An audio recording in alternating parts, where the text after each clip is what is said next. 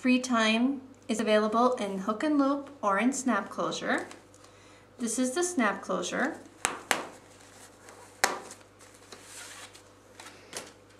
From the outside, the diaper looks almost exactly the same as a bumGenius 4.0 or a bumGenius Elemental diaper.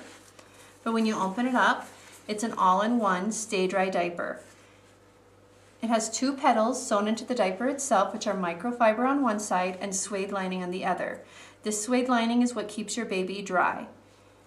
It has stitched marks where you can fold the inserts to get more absorbency in the front for your boys. You can fold it like this, and you can fold it in the back for more absorbency for the girls.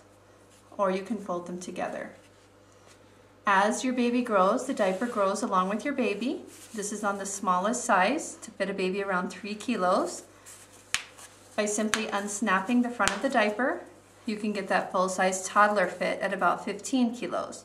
To get a medium fit, take the top row of snaps with the middle row of snaps, and you can get the medium fit on your baby. Now as the baby grows and your diaper grows, the inserts simply self-adjust themselves inside to give you that good fit and good absorbency for the baby. To put it on your baby, bring the diaper up around the torso of your baby.